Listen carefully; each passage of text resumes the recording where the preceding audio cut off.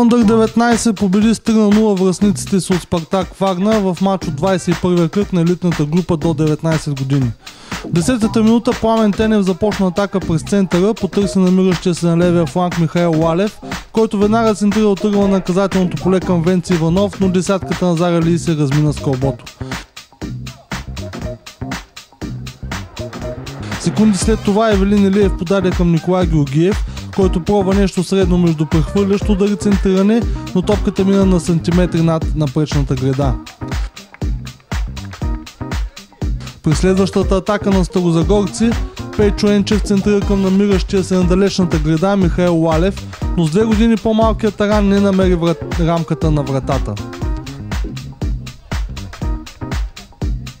Беройци излязоха напред в резултата в 17-та минута, когато Николай Георгиев наху от дясно в наказателното поле и намери Венцислав Иванов, който премина през двама противникови бранители и с хубав удар от тъгъла на малкия пеналт се разписа за 1 на 0.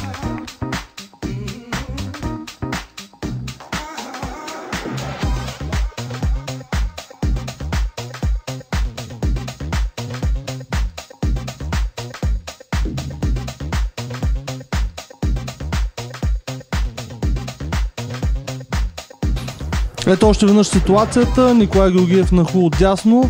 Намери Венци Иванов, който финтира защитник на гостите и съобразително в близкия тъгъл откри резултата.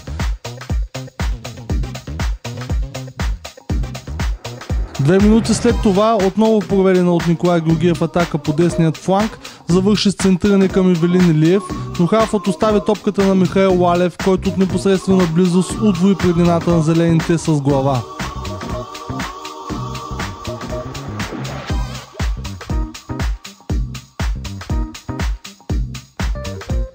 Ето още веднъж центрирането на Николай Георгиев. И Велин Илиев как не успя да играе с глава, но това стори Михаил Алев, отбелязвайки първия си гол през седмицата в матчове от детско-юническата школа. В 22-та минута Димитър Трайков центрира от ъгов удар вляво от вратата на гостите.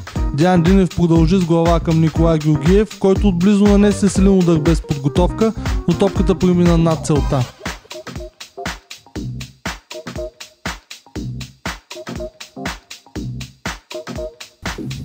Минута по-късно Венцислав Иванов получи кълбото пред наказателното поле, навлезе в пеналта, навързвайки трима бранители след себе си, но притиснат от последния в отбраната бе принуден да се освободи от кълбото, като направи опит за центриране, но не е успешно.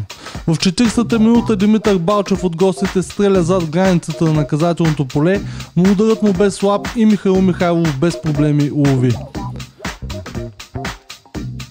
Димитър Трайков центрира от прах свободен удар в последната гола възможност за първото полувреме, но засечената от Михаил Лалев топка не затрудни Станислав Вълчев.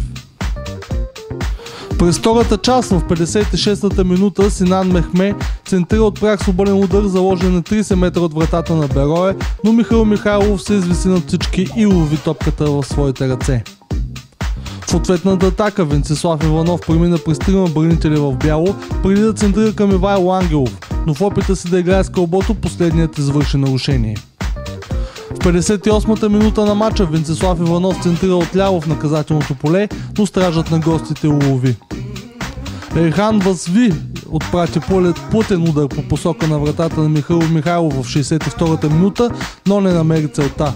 В 72-та минута Димитър Трайков изпълни прак свободен удар от 20 метра от вратата на гостите, но топката премина в страни от целта. Четири след това при идентична ситуация Трайков този път намери рамката на вратата, но Станислав Вълчев прояви добър рефлекс и избива въгов удар. 8 минути преди края на редовното време Борислав Желясков пробва късмета си с удар от далечна дистанция, но топката премина в страни от рамката на вратата. В 85-та минута Александър Манолов проби по дясното крило и върна към Ивайло Ангелов, който веднага центрира за намиращия се на границата на малкия пенал от Ангел Костов. Деветката на Зара Ли засече кълбото с глава, но то бе отразено от Станислав Вълчев директно в краката на Костов, който при втория си опит бе безпогрешен и оформи крайното 3 на 0. Ето още веднъж цялата ситуация – при която беройци записаха класическият успех с 3 на 0 в матч от елитна група до 19 години срещу Спартак Варна.